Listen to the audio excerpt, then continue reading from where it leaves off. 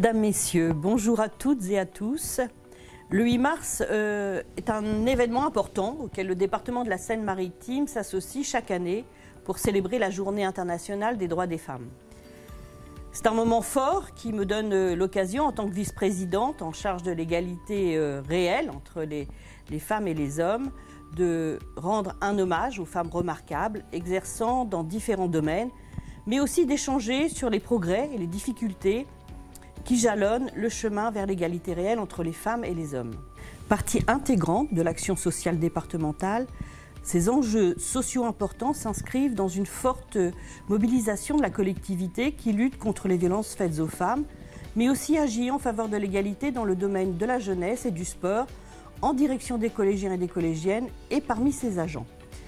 Pour cette année 2021, j'ai souhaité euh, que cette journée euh, soit consacrée à un secteur euh, que porte également le département sous l'égide de Patrick Tesser, vice-président à la culture, qui nous fait l'honneur de sa présence pour cette fois-ci aborder ensemble la place des femmes dans le domaine de la culture.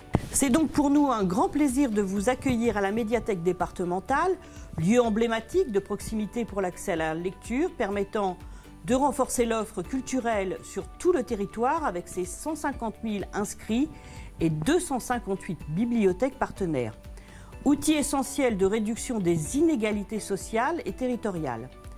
Je souhaite maintenant céder la parole à Patrick Tesser, qui va nous présenter la thématique et les enjeux avant la diffusion des interviews réalisées avec euh, nos invités qui euh, nous feront partager leurs expériences de femmes dans la culture et contribueront à éclairer ainsi le débat de l'égalité femmes-hommes dans ce domaine. Mesdames, Messieurs, bonjour à toutes et à tous. En effet, c'est avec joie que j'ai souhaité participer à cette journée du 8 mars qui nous invite à échanger sur la place des femmes dans la culture, elle que l'on a laissée trop longtemps dans l'ombre, des hommes. Alors même qu'elles ont participé très largement au développement artistique dans toute sa richesse et sa diversité. L'histoire de l'art témoigne que depuis très longtemps, des femmes exercent des activités artistiques en les portant jusqu'à l'excellence. Dans la France de l'Ancien Régime, parallèlement à la présence de plasticiennes à l'Académie royale de peinture et de sculpture, des chanteuses, des femmes instrumentistes et des danseuses se produisaient à la cour du roi. Des cantatrices et des danseuses engagées à l'Opéra, Académie royale de musique, créée en, en 1669, ont atteint une grande notoriété. De son côté, la comédie française, fondée en 1680, comprenait dans ses débuts des comédiennes qui partageaient les recettes de manière égalitaire avec les comédiens et une quinzaine d'auteurs. Il était interprété euh, jusqu'en 1789. Enfin, des chanteuses et des femmes instrumentistes se faisaient entendre euh, dans des concerts publics, dont le prestigieux concert spirituel de Paris au XVIIIe siècle. À la même époque, euh, le Conservatoire de musique et d'art dramatique, créé en 1795, était ouvert aux deux sexes dès ses débuts, soit 100 ans avant l'école des beaux-arts et 70 ans avant les universités. Et que dire aussi euh, des écrivaines qui ont marqué la littérature, dont Madame Sévigné, Ninon de L'Enclos, Olympe de Gouges, Georges Sand, Marguerite Duras et tant d'autres. Par ailleurs, certaines figures féminines ont également inspiré artistes, écrivains et compositeurs au point d'en concurrencer la notoriété comme Emma Bovary et Gustave Flaubert, Gala et Dali. Et comment ne pas citer le personnage de Carmen, bien plus connu que le compositeur qui lui a donné vie? D'autres, enfin, euh, se sont saisis de l'art pour faire avancer euh, le droit des femmes. Et je pense notamment d'ailleurs aux, artistes comme euh, Frida Kahlo, Niki de Saint-Phal, et, bien sûr aux grandes personnalités qui sont Simone de Beauvoir et Simone Veil, qui par leur engagement ont considérablement changé le regard de la société sur la condition féminine. Et n'oublions pas non plus, dans une époque plus récente, tous les collectifs d'artistes les compagnies de théâtre, ainsi que les chanteuses de musique dites populaires qui se sont engagées également dans cette voie. Ce fut le cas du mouvement américain des guérilla girls, probablement militantes féministes les plus emblématiques dans le milieu de l'art depuis 1984, pour protester contre les sous-représentations des femmes euh, ou de l'artiste francophone Angèle avec le succès récent de son titre Balance ton quoi. Pour autant même, si dans la société actuelle, les récentes avancées permettent de penser que le secteur de la culture peut être considéré comme plus ouvert, libéré des contraintes, la marche pour l'égalité réelle entre les femmes et les hommes demeure un enjeu de cohésion sociale important. Car de grandes disparités y subsistent encore aujourd'hui, que ce soit dans l'accès aux métiers, dans le choix des pratiques culturelles ou de la reconnaissance de leurs talents. À titre d'exemple, entre 2010 et 2019, un tiers de femmes étaient au poste de direction dans les sphères culturelles. Deux longs métrages sur dix programmés en salle étaient réalisés par des femmes. Et un tiers également d'œuvres de femmes étaient exposées en art contemporain. Seule, seule, la littérature fait figure d'exception avec 41% de femmes lauréates de prix littéraires sur cette même période. C'est précisément au regard de cet état des lieux, bien sûr, que nous vous proposons, Nathalie Lecordier et moi-même, de découvrir les interviews qui vont suivre, réalisées spécialement pour cette journée du 8 mars. Nous tenons, à ce titre, à remercier les femmes qui ont accepté de partager leur expérience et leur regard sur le monde de la culture, ainsi que la direction de la communication du département de la Seine-Maritime pour la réalisation de cet événement. Comme vous le verrez, l'histoire singulière de chacune d'entre elles dans les domaines euh, des pouvoirs publics, du théâtre, de l'édition, de l'orchestre symphonique et des écoles de musique illustre et apporte, sans nul doute, un éclairage pertinent sur l'égalité femmes-hommes dans les métiers de la culture. Écoute Patrick, c'est avec beaucoup de plaisir que nous avons euh, organisé cette journée. Alors une journée en lien avec la culture et, j'y suis euh, totalement, euh, je suis totalement heureuse de cette, de cette dernière manifestation pour, pour, le 8 mars parce que à la fois je suis nouvellement élue à la culture sur ma commune donc et, la deuxième chose, c'est que dans cette période de crise sanitaire, bien évidemment, la culture est, en souffrance et il nous semblait important, en tout cas, qu'au sein de ce département, nous apportons aussi euh, cette pierre à l'édifice pour euh, porter la culture et, en dire, euh, en tout cas, toute la nécessité. Eh bien, je vais laisser la parole à Patrick Tesser pour nous présenter la première personnalité. Merci beaucoup, Nathalie. Eh bien, ça ne va pas te surprendre, mais Gustave Flaubert sera mon fil conducteur pour mes présentations, car n'est-il pas l'un des plus grands écrivains des lettres françaises Né le 12 décembre 1821 à Rouen, nous célébrons cette année le bicentenaire de sa naissance. À cette occasion, le département de la Seine-Maritime offre aux collégiens ce carnet d'artistes à écrire et à compléter au fil des pages les 61 000 collégiens pourront ainsi se plonger dans les œuvres flaubertiennes et ainsi mettre en parallèle les idées du 19e siècle avec celles du 21e siècle. Il réunit 31 extraits de la correspondance entre Gustave Flaubert et la femme de lettres Georges Sand, aux figures majeures de la littérature du 19e siècle. Tous les séparaient. L'âge, elle a 53 ans et lui 36. Les idées politiques, le succès, la vision du monde, Georges Sand prend la défense des femmes, prône la passion, fustige le mariage et lutte contre les préjugés. Lutte contre les préjugés d'une société conservatrice. Pour le 8 mars, bien sûr, elle a toute sa place. Notre première interview sera pour Madame la sénatrice, Catherine Morin de Sailly, qui est une femme de conviction et de valeur. Une femme qui s'est faite une place en politique. Reconnu. Mais ce n'était pas un parcours facile. Madame Morin de Sailly. Catherine Morin de Sailly, sénatrice de la Seine-Maritime, conseillère régionale de Normandie, présidente de la commission culture, tourisme, attractivité de la région Normandie. Le monde de la culture n'est pas différent du reste du monde. Ça veut dire qu'on y retrouve le même type d'inégalité homme-femme. On y retrouve par exemple moins de femmes en responsabilité. On y retrouve des différences salariales. On y retrouve euh, des difficultés aussi de progression, on y retrouve aussi des difficultés de représentation. Alors quand je parle du monde de la culture, c'est tout secteur confondu, c'est tout un ensemble qui est aujourd'hui sous le regard du ministère de la Culture qui a constitué depuis deux ans un observatoire de la parité. Tout commence par euh, la représentation que peuvent avoir euh, les petites filles, des femmes en responsabilité dans leur métier dans la vie de tous les jours. Donc ça commence par l'école et les médias.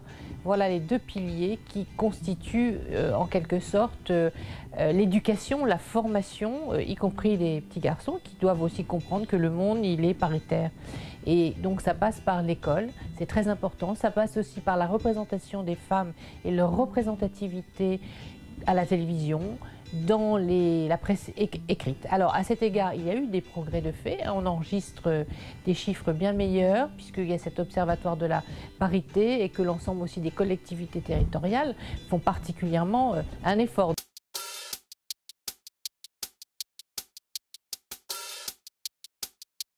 La place des femmes dans le monde culturel est importante. Elle a été d'ailleurs de plus en plus importante ces, ces dernières années. Je le note parce que des efforts aussi ont été faits. Songez que l'Académie française a restauré des mots qui avaient disparu, comme le mot autrice. Le mot autrice, ce n'est pas un néologisme, c'est tout simplement le féminin du mot auteur qui avait disparu de la circulation euh, depuis euh, des décennies. Preuve s'il en est que les femmes, quelque part, étaient censurées. Or, la place des femmes, c'est aussi euh, la place de l'expression du monde qu'elles peuvent en avoir. C'est le décryptage du monde vu par, les femmes. Et qu'est-ce que l'art? L'art, est bien, la relation de l'être humain au, monde. Si je dis tout cela, c'est que la place des femmes est essentielle, vous l'avez compris. C'est la raison pour laquelle, pour ce bicentenaire euh, de l'année Flaubert dans toute la Normandie, nous avons euh, choisi une femme pour être présidente d'honneur. Et quelle femme? La merveilleuse actrice Isabelle Huppert, qui, on se souvient, est, venue tourner le film de Claude Chabrol à Lyons-la-Forêt ce merveilleux Emma Bovary. Emma Bovary, encore une femme, mise à l'honneur pour l'année euh, Flaubert. C'est un roman euh, éternel qui évoque les problèmes que peut rencontrer encore la femme aujourd'hui. Ce roman, selon Isabelle Huppert, n'a rien perdu de sa modernité. Et donc vous voyez, c'est très important que nous puissions euh, placer l'année Flaubert sous le signe voilà, d'une héroïne qui est de tous les temps, et de toutes les époques, et de tous les lieux. Bien, Patrick, merci pour euh, le lancement de cette première capsule où on, voit effectivement euh, Catherine Morin de Sailly qui nous explique euh, son parcours et qui nous parle effectivement de sa passion aussi pour la culture. Là, je vais vous parler d'une seconde femme qui va venir vous expliquer son parcours qui est un peu différent, puisque c'est Sandrine Vallée, elle est directrice de l'école de musique de Saint-Nicolas d'Aliermont. Voilà, et elle nous expliquera sûrement que c'est tout aussi compliqué pour une femme euh, d'être une directrice euh, dans ce milieu. Sandrine Vallet, directrice de l'école de musique euh, municipale de Saint-Nicolas d'Aliermont.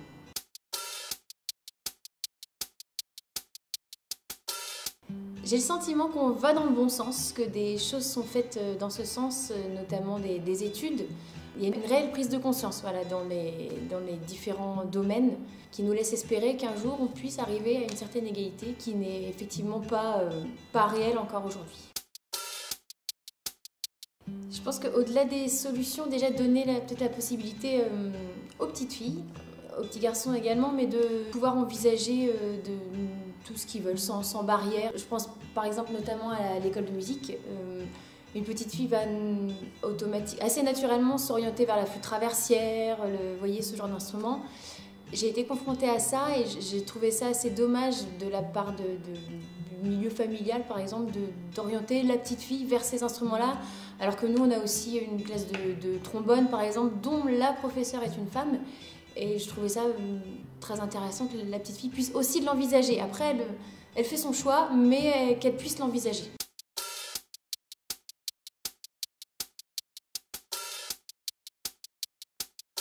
Je pense que j'ai eu beaucoup de chance dans mon parcours d'avoir beaucoup de bienveillance euh, par rapport aux professeurs que j'ai rencontrés, ensuite aux collègues. Mais je sais que j'ai des amis qui ont été confrontés, elles, à des, professeurs hommes qui pouvaient euh, avoir des comportements qui outrepassaient un peu leur fonction voilà, de professeur. Euh. J'espère que ce genre de comportement aujourd'hui a tendance à disparaître, ou en tout cas les, hommes, professeurs hommes, se sentent peut-être moins autorisés à ce genre de comportement. J'espère en tout cas. J'ai la joie de vous présenter une jeune euh, autrice, euh, comédienne, metteuse en scène. Elle s'appelle euh, Lia Alamichel et elle fait partie de la nouvelle compagnie qu'elle vient de créer qui s'appelle Doppelganger Company avec son ami Brian Chivo. Et euh, du coup, ça me fait penser que les jeunes d'aujourd'hui, euh, cher Patrick, sont très investis. Je pense euh, aux, victoires de la musique il n'y a pas très longtemps avec Pomme, Iseult, qui sont des femmes très investies, militantes, qui travaillent effectivement sur, des sujets éminemment importants sur la condition des femmes et, et, les droits. Je vous propose donc de découvrir l'interview de Lia à la Michel. Je m'appelle Lia à la Michel. Euh, je suis comédienne, metteuse en scène, autrice et je viens de créer la Doppelganger Company avec Brian Chivo euh, basé à Rouen.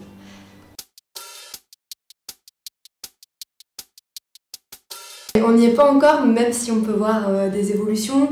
Tout d'abord parce qu'il y a encore beaucoup de, de violences faites aux femmes dans le milieu culturel. Il y a plus de femmes que d'hommes dans les écoles liées à la culture, et pourtant il y a beaucoup moins de femmes qui trouvent du travail après. Il y a beaucoup moins de, rôles pour les femmes euh, dans le théâtre, il y a beaucoup moins de, femmes qui sont, qui sont primées, euh, il y a beaucoup moins de femmes à des postes importants. les femmes se posent elles-mêmes leurs limites, elles, elles mettent des barrières à leurs ambitions. Donc déjà, il faudrait qu'il y ait plus de femmes dans les lieux où les décisions sont prises, plus de femmes, euh, plus de femmes programmatrices, plus de femmes directrices de théâtre, de grands théâtres nationaux, tout ça plus il y a de la parité déjà en haut et plus après les, projets féminins euh, euh, vont être mis en valeur et plus, il y aura de, diversité dans le théâtre.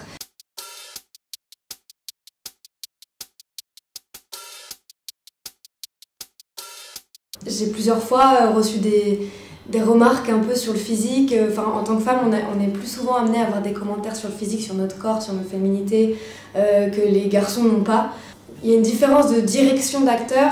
Par exemple, moi, on va plus souvent me demander euh, de, de, jouer un rôle plus maternel, plus attentif, plus, plus douce, plus élégante, alors qu'un homme, on lui demande pas ça.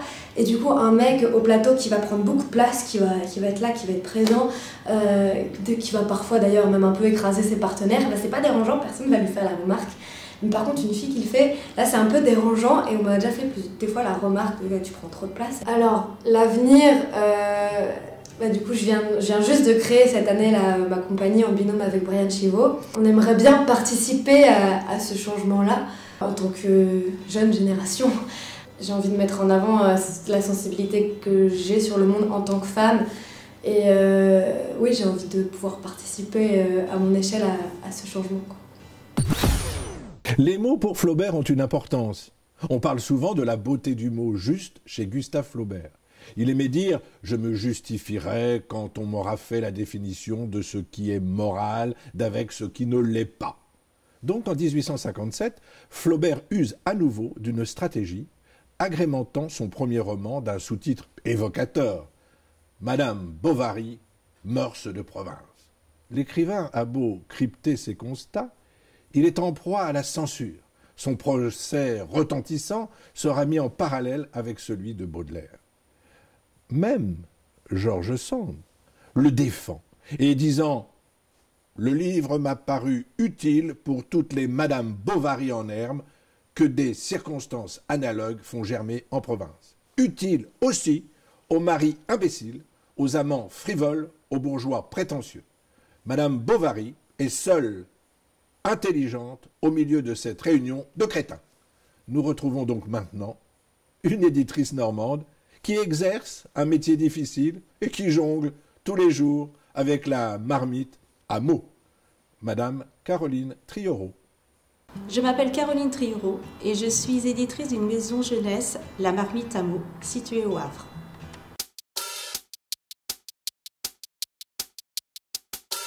Je trouve que dans le monde de la culture actuelle, l'égalité homme-femme est respectée. Euh, j'ai eu la chance de n'avoir jamais à subir de discrimination du fait d'être une femme. Euh, et au contraire euh, d'avoir des, contacts toujours très intéressants et très bienveillants de la part des hommes dans le, dans le monde de la culture. Alors moi je pense notamment que cette question d'égalité homme-femme, c'est avant tout une question de citoyenneté. C'est l'éducation à la tolérance et au respect. Nous sommes différents. Effectivement, je pense que ça, c'est fondamental d'accepter cette différence entre un homme et une femme. Et si des gens réfléchissaient non pas en termes d'opposition, de domination, euh, de savoir qui est le plus fort ou qui est le meilleur, mais tout simplement en question de complémentarité, qu'est-ce que l'un peut apporter à l'autre, je pense que des gens régleraient un petit peu cette question de l'égalité. Euh, et on, on accepterait que chacun ait les mêmes droits et aussi le même droit à l'épanouissement.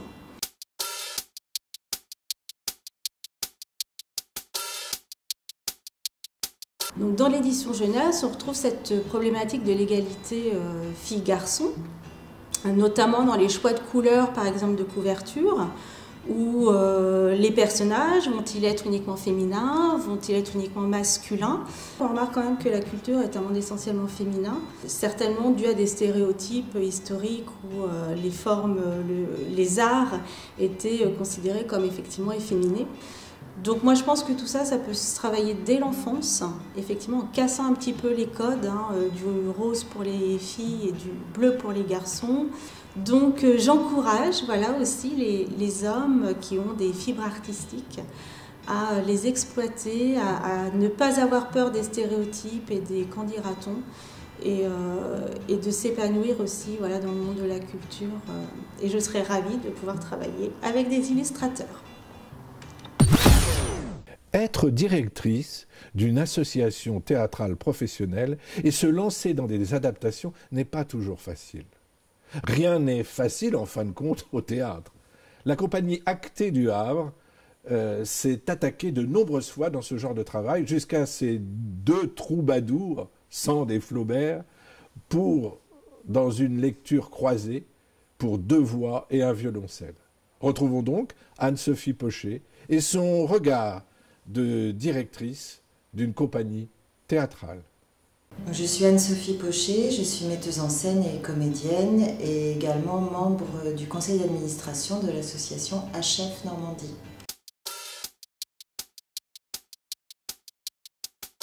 Aujourd'hui, le monde de la culture ne respecte pas l'égalité femmes-hommes à tous les niveaux, que ce soit au niveau de la création, que ce soit au niveau de la direction des lieux et de la programmation. Une des solutions, c'est euh, les objectifs chiffrés, c'est-à-dire imposer un certain nombre d'objectifs en ce qui concerne la répartition des moyens de production, des subventions, euh, en ce qui concerne euh, également les directions de lieux, faire en sorte que ce qu'on appelle les shortlists, c'est-à-dire au moment des nominations des directeurs et des directrices, dans les grands lieux euh, de culture, euh, faire des listes paritaires afin que les choix soient faits dans une euh, égalité stricte.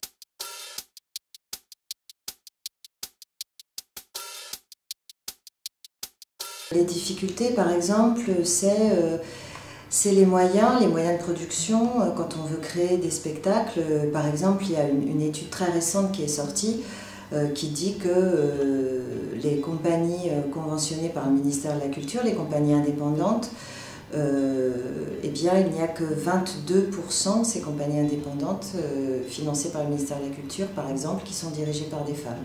Donc voilà, c'est un des problèmes, un des problèmes que moi, effectivement, j'ai pu rencontrer, c'est-à-dire de constater que les moyens de production qui peuvent m'être alloués, moi, pour les spectacles que je vais monter, sur lesquels je travaille, ne sont pas ne sont pas euh, égaux par rapport à mes, homologues euh, masculin.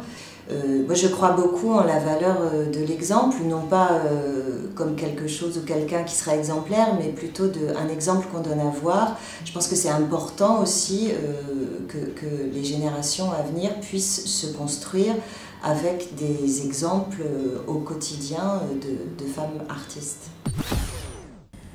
Cher Patrick, ce qu'on peut voir aujourd'hui, c'est qu'il y a encore beaucoup d'avancées sur la culture. Je, pense particulièrement euh, à un test qui s'appelle le test Bechdel et Valas. Euh, je ne sais pas si tu, si tu le connais. En tout cas, il vient nous interroger, par exemple, plus particulièrement sur les films, pour savoir si euh, on est dans une égalité sur le contenu des films. Il alors, il suffit juste, effectivement, de poser trois questions quand on regarde ce film. C'est-à-dire, on se dit, est-ce qu'il y a deux femmes? Dans ce film, deux femmes dont on connaît le nom, qui échangent entre elles, qui ont donc une interaction. Et est-ce qu'elles parlent d'autre chose que d'un homme? Eh bien, on est assez euh, stupéfait euh, de se rendre compte que sur à peu près 6500 films, 40% ne répondent qu'à un ou deux critères de, de ce test et 10% ne répondent à aucun critère. Donc on voit effectivement qu'il y a encore euh, des choses à faire évoluer euh, sur ce sujet. Et puis il y a des femmes qui prennent d'autres orientations. Je vais euh, vous présenter Emeline Miseret, qui est en formation de chef d'orchestre. Il faut savoir qu'aujourd'hui, il n'existe qu'une seule femme chef d'orchestre, et, ce depuis septembre 2020. Donc on voit la progression, en tout cas, qu'on pourra faire pour avoir tous ces talents de femmes quand elles seront nombreuses à être chefs d'orchestre. Et donc, je vous propose de regarder Emeline Miseret. Je suis Emeline Miseret, je suis musicienne de formation classique, clarinettiste, et j'enseigne en conservatoire. Et depuis peu, j'ai la chance de débuter ma carrière de chef d'orchestre.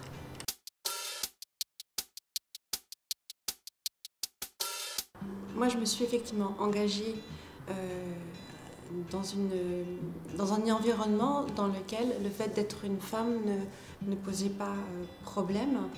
Euh, donc effectivement, à titre personnel, je n'ai pas rencontré de difficultés particulières.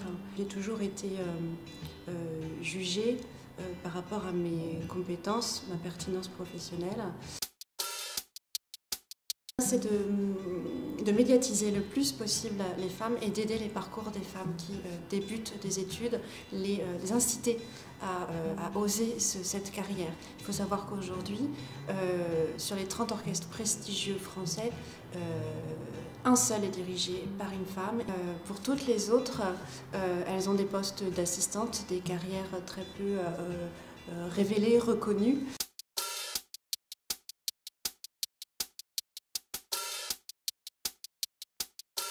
Non, parce que j'ai choisi une voie qui était sûre. Et euh, je pense que euh, cette situation euh, est, derrière, fort heureusement, grâce au combat de, femmes qui sont fortes, comme Claire Gibault notamment, une très grande chef d'orchestre française.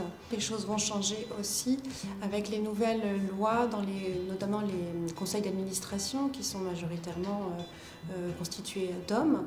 Et fatalement, il y a une cooptation des hommes par les hommes. Et donc dans les jurys ou euh, dans les grandes structures, les établissements, opéra, théâtre, etc., euh, ce sont des hommes qui, qui choisissent en fait leur chef.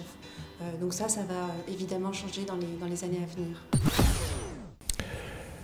Sophie Descamps, directrice du Passage à Fécamp. Le théâtre est difficile, bien plus difficile, cent fois plus difficile que la littérature à lire. Propos de Gustave Flaubert dans une correspondance avec Georges Sand. Cher maître, je me rappelle la première du marquis de Villemer qui fut un triomphe, et la première des donjons de village qui fut une défaite. Sur vingt essais, à moins d'être Molière et d'avoir un milieu bien net à peindre, on en rate 18. Ça ne fait rien. On est philosophe. Tu en as fait l'épreuve. On s'habitue vite à ce combat à bout portant et on continue jusqu'à ce qu'on ait touché l'adversaire, le public, la bête. Si c'était aisé, Si on réussissait à tout coup, il n'y aurait pas de mérite à accepter cette lutte diabolique d'un seul contre tous. La directrice du passage à Fécamp est confrontée à l'exercice de la bonne saison et des spectacles qui remplissent la salle. Retrouvons donc Sophie Descamps. Sophie Descamps, directrice du théâtre Le Passage à Fécamp.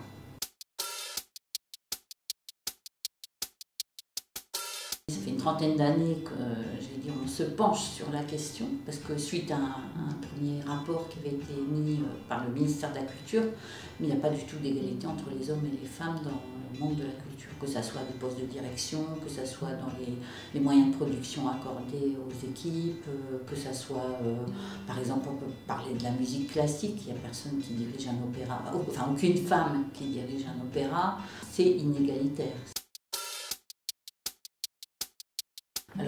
Des choses qui sont mises en place par le ministère de la Culture, par exemple pour avoir des listes paritaires pour les directions. À un moment donné, ils avaient parlé qu'ils allaient mettre des sanctions euh, financières pour les équipes, par exemple, les directions qui ne respectaient pas euh, la programmation égalitaire entre les hommes et les femmes.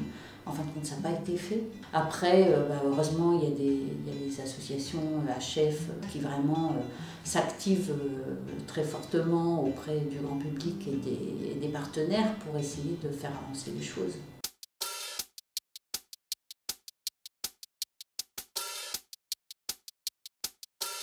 J'ai un souvenir précis, c'est en 2006, justement, il y avait Reine Pratt euh, au ministère de la Culture, elle avait écrit son premier rapport et j'avais été la rencontrer pour lui raconter justement euh, ce qui m'était arrivé, puisqu'à l'époque j'avais postulé pour la scène nationale d'Albi. Il était très clair, suite aux entretiens que j'avais eus avec l'adjoint à la culture et aussi bah, une personne du département, c'était un élu que de toute façon, ils n'allaient pas confier du tout la direction à une femme. C'était mais évident. Je m'étais dit, euh, suite à l'entretien avec l'adjoint à la culture, qu'il m'a posé des questions sur ma vie personnelle qu'il n'aurait jamais posé à un homme. Pour mon avenir, je m'active pour qu'il y ait toujours d'égalité en tout cas. Cher Patrick, nous euh, finissons ce moment qui a été euh, fort agréable, moment que nous avons partagé sur cette journée internationale des droits des femmes, le 8 mars avec ce sujet, la culture, femmes, culture et gouvernance. Et nous allons euh, terminer par le portrait de Karine Préter, qui est une metteuse en scène et qui va nous faire part effectivement aussi des difficultés d'être femme dans le monde de la culture. Je vous présente donc euh, le portrait de Karine Préter. Je suis Karine Préter, comédienne et metteuse en scène.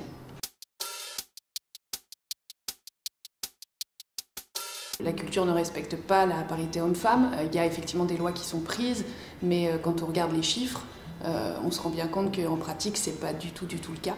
Et comme en plus les, directions des salles sont à majoritaire masculines, comme ça joue beaucoup aux chaises musicales, bah, les choses sont longues, longues, longues à changer. Je pense que les solutions passent par une obligation. Euh, je, pense qu'il faut arrêter d'être patient, en fait, de se dire que ça va changer. Que. C'est vrai que ça évolue beaucoup, mais, euh, mais de toute façon pas assez vite. Il faut imposer euh, voilà, une parité totale. Si on a 50% d'hommes et 50% de femmes, mais qu'on écoute les 50% d'hommes, ça sert à rien d'avoir la parité, vraiment. On sait au niveau des, des discussions, quand un homme parle, on l'écoute plus qu'une femme. Je pense qu'encore une fois, c'est pas aux hommes de défendre les droits des femmes avant les femmes. C'est déjà laissons vraiment une vraie place aux femmes pour s'exprimer.